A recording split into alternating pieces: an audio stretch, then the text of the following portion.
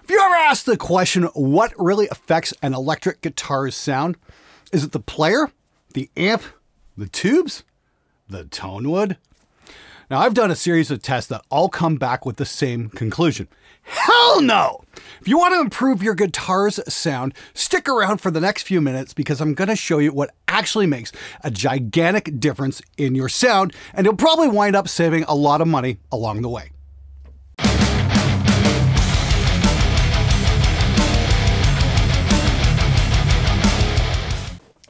All right, before we get rolling here, if you're new to recording and aren't sure how a compressor works, or you just need some overall help, please check out my three part audio basics course. It's absolutely free. Links in the description below. Now let's get to it. As an engineer who's been recording guitar for many years now, I've gone down a number of rabbit holes when it comes to tone. And there is a lot of misinformation out there.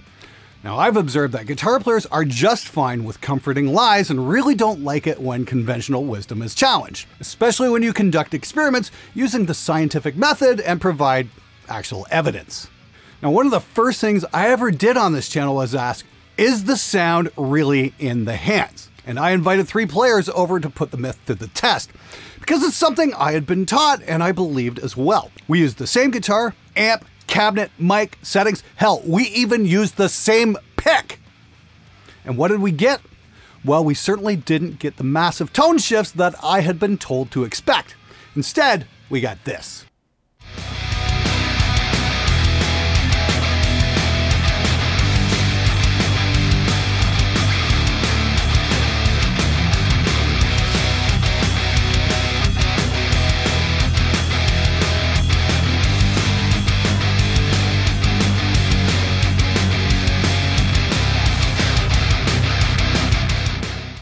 Now, the most surprised person that day was me. I was expecting gigantic changes in the sound. But hey, that's what good science is when you don't get the results you're expecting. Now, the one thing I've never seen anybody do since we've made this test way back in 2014 is to make a better test because that would take effort. And we all know it is far easier to sit around and bitch. Now, there were a lot of comments like, oh, you did that wrong. You used too much distortion. Play a blues riff. Okay, just to be extra super special clear so even the most self absorbed guitar wankers understand. Yes, I mean you. Please look away from the mirror for five whole fucking seconds and try and let this sink in. Spectre Sound Studios is a metal production channel. Now, what kind of music do we play on a metal production channel? Do we play jazz? Disco? Blues? No! We play metal, you stupid fucks! And this test proved that the player is essentially ballast. I have heard the phrase, the sound is in the hands, repeated so many fucking times, and well, it's mostly said by lazy people who don't want to put in the work to investigate what's really going on. The sound is in the hands is just a fucking cop out. And when you make the player the only variable, and I do mean in a case where everything is the same except for the player, there are no drastic tone shifts. Clarity in how the notes are articulated comes from the hands, but overall frequency response, without a fucking doubt, comes from the gear. Now, last November, I was experimenting with different types of vacuum tubes, and I came to realize that crumbs balls, this isn't changing the tone of the amp either. Because vacuum tubes are not equalizers. They are designed to amplify a signal, and when pushed, they distort. And that is exactly what we observe. Some tubes are a little louder than others, some will break up a little easier than others. But when we ran the test and eliminated all the variables except for the tubes, we did not get the kind of massive frequency shift that I had been told to expect.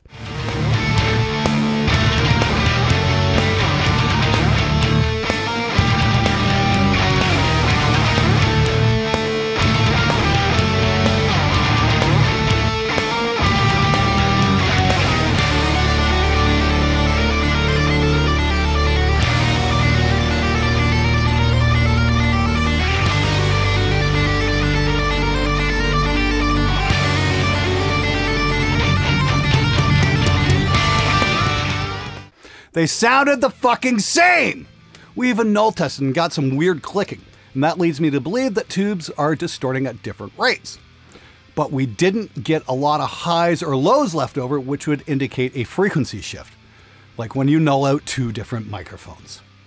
Now, of course, that video got a lot of hate, and I got called every name in the book for daring to do some actual fucking science for a change instead of going along with the accepted bullshit. I got pointed to quite a few other videos when the tube was not the only variable. Different performances, different mic positions. Hell, in one case, some kid showed me a video where he swapped his tubes and got a massive tone change. And he was playing through a completely different cabinet in each clip. And then some genius really got his panties in a twist because I decided to eliminate the one critical variable, the mic cabinet combo, as I didn't want to risk spoiling the experiment by bumping a mic, because moving your mic will change your tone. Instead, I used a cabinet impulse, and apparently that was worse than murdering Jesus. Because somehow using a live speaker has an effect on a tube swap? I'm gonna call bullshit on that one because there was absolutely no evidence provided to back up that claim, but there sure was an awful lot of name calling directed my way. And what should come as no surprise to anybody watching this show is that despite all the complaining, nobody has yet to make a better test. And most recently, we challenged yet another widely accepted bullshit claim about guitar tone, and that is Tonewood. I had two guitars built exactly the same except using different wood. I even offered to give away one of the guitars to anybody who could pick out which guitar was in the mix.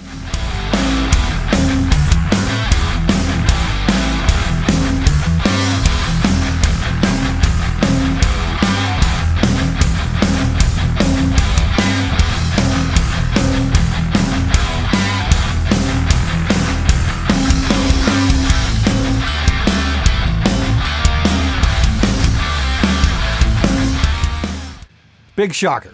Nobody got it. I had to give it away on a Rafflecopter.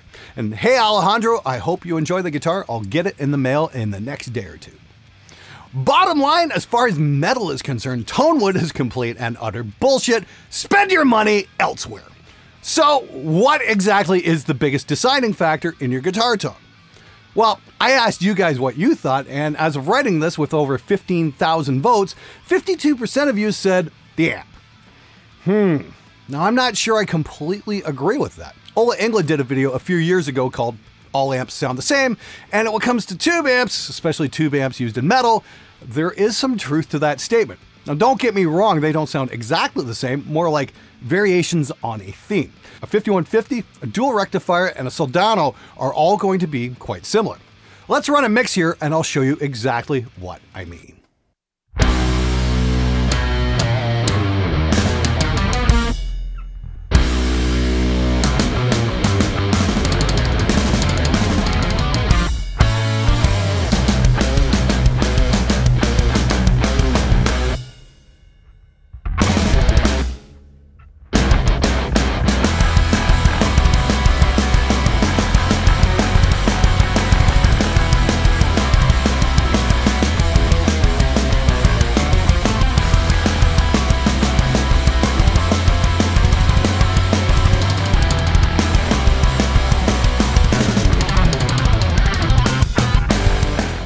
Now, that starts to change when you bring in solid state amps, which are very different beasts. Let's run the 5150 against a Sunn Beta Elite.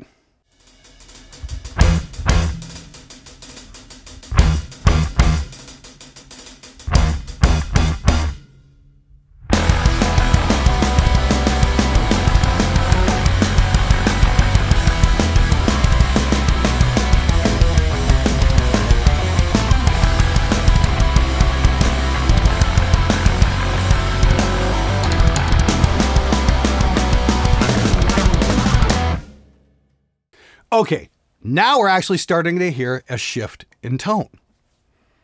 But when it comes to guitar tone, the single biggest deciding factor, at least as far as I've found in my many years of recording, is the speaker and the cabinet. If you put the same speaker in a 2x12 and a 4x12, they're going to sound very different. In fact, uh, what I'm going to do here is take the same Celestion Vintage 30 and put it in two different 4x12s as well as a Zilla 2x12, mic it up with the same 57 in the same position, and the amp settings exactly the same. Check this out.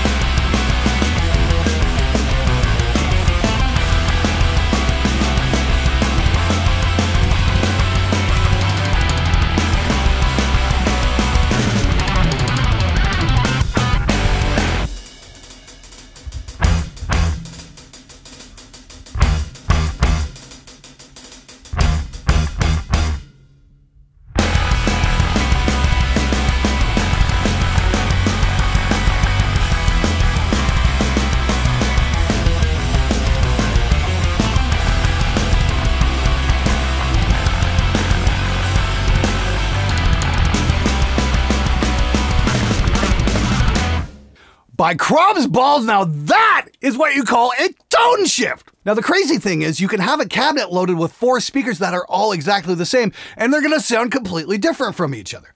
Here's what I mean.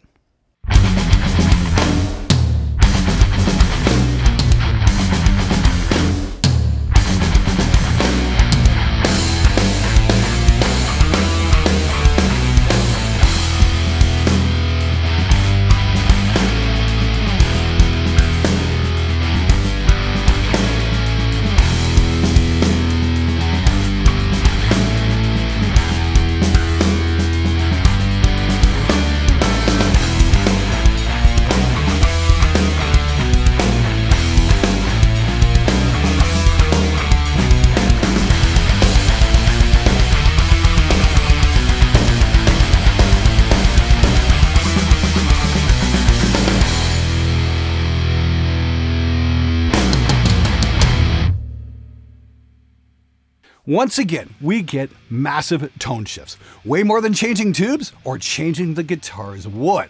So, why is the speaker not being discussed as if it's the most critical part of the signal chain? Simply put, we're a visual species. Now, there's a phrase in the book Bravo 20 that's repeated often if it's shiny, I want it. And this really applies to the whole guitar tone thing because we listen with our eyes. Guitar bodies can be beautiful, and we delude ourselves into thinking that somehow the makeup of the guitar body is somehow going to have bearing on the overall frequency response. And if you eliminate the variables, guess what? It doesn't. Not in any kind of way that's audible in a guitar mix, anyway. Now, the same thing's going on here with vacuum tubes. They glow, they're pretty. Ooh, there must be something magical about them. Nope, Turns out that one manufacturer's 12AX7 sounds pretty much just like the next brand. There might be output differences, there might be differences in the distortion threshold, but frequency response? No. Once again, tubes are not equalizers. But because they're shiny, we've thrown common sense out the window and built up a mystique about these fucking things.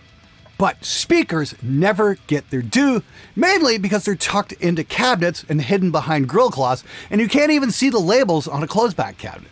There's no visual connection, so we're forced to listen with our ears, and that's a lot harder to do, so we wind up ignoring them. Now, here's where it gets even more insane. If you go down the vintage 30 rabbit hole, there's a pretty significant tone shift from the early 2000 models to the mid 2000s. I've been working with a 2006 rectifier cab for years, and it might actually be working against me. I had a chance to visit with Christian Kohle last month in Germany, and we got on the subject of older versus newer vintage 30s. And then Adam Nolly Getgood was kind enough to give me some advice as to what kind of cabinets to look for. So I've spent a good chunk of September driving all over southern Ontario, hunting down Mesa cabinets from the early 2000s. And yes, they sound significantly different than my 2006 cab. Now, a lot of it has something to do with the fact that Celestion moved production to China, but I'm also suspecting there might have been a change in the manufacturing process as well. If there's one thing I learned from 27 years on the line at Chrysler is they are always looking to make things more efficient. So maybe the paper cones started coming from a different place. Who the fuck knows? Point being, there is a pretty significant tone shift from a mid 2000s cab to an early 2000s version.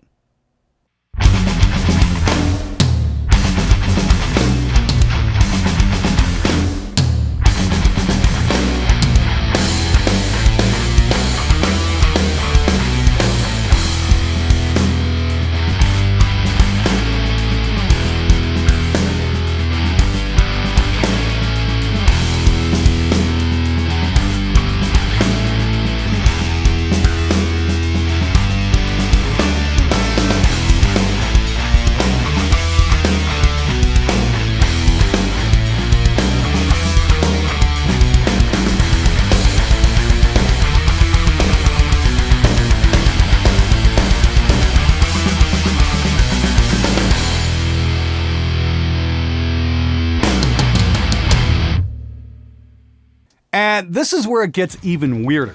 I had a chance to visit my old friend Lasse Lammert, who's recorded one of my favorite rhythm tones ever, which was Alestorm's Terror on the High Seas. There's just this amazing high end grind to that tone. And it was a 5150 plus a dual rectifier into an angle cab. Now, Lasse was kind enough to let me plug into that rig, and it was instantly a case of, oh fuck, there's the sound. I've got the same cabinet, but mine's from roughly 2006, but Lasse's is from 2000 or so. And upon closer inspection, I could see that the dust caps were different.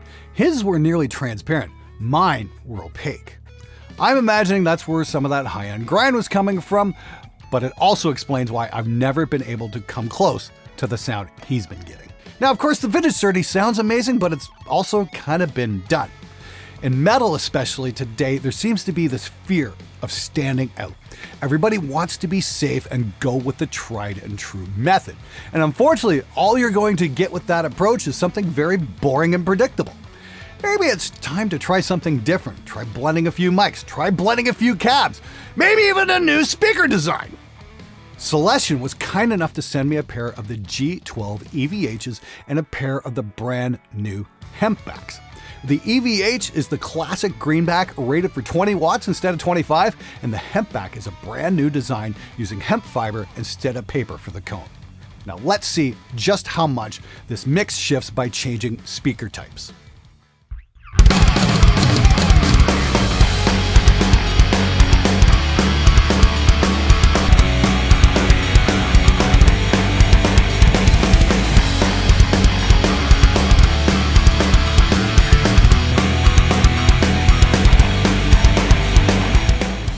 All right, now things are starting to get interesting. I've loaded this incredible Revv cab in an X pattern so I can have both speaker types in the same cab. Check out what happens when I start blending the speaker types versus a mix with a newer rectifier cab with newer vintage 30s.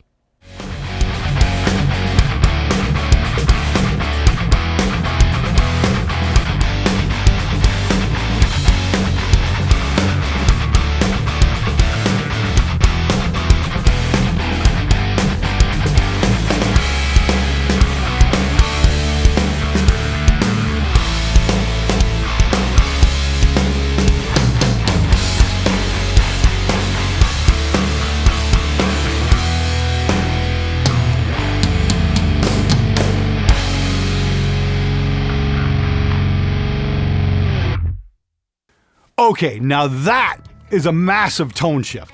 The tone is not in the hands, it's in the speaker, because a speaker is a filter. A microphone is a filter. The cabinet design is a filter. The size, the mass, they all affect the conversion of the electric signal that the amp is putting out back into acoustic energy. Tubes, not a filter. Solid guitar body, not a filter. And if it is, it's a really shitty one.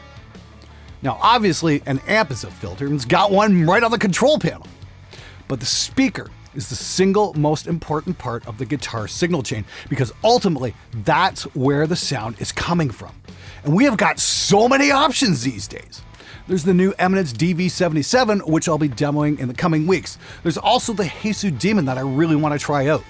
Warehouse Guitar Speakers have been putting out amazing speakers for years, and I've been sitting on a pair of the Amperion demos for the last year and a half because the release has been delayed due to the same manufacturing issues everybody else has been going through. Metal tone doesn't begin and end with the Vintage 30. But on the other hand, I'd like to see Celestion go back to whatever they were doing to the vintage 30s in the early 2000s and make that version of the speaker available again because those ones were very different compared to what we get today. Bottom line, if you're looking to improve your guitar tone, don't start with the shiny stuff. Take a look at what's actually making the sound and consider upgrading that. And the stuff that will affect your tone ships with a frequency response graph. Tubes and guitar bodies don't ship with frequency response graphs because they don't do shit when it comes to frequency response. Start with your speakers and save yourself a small fortune.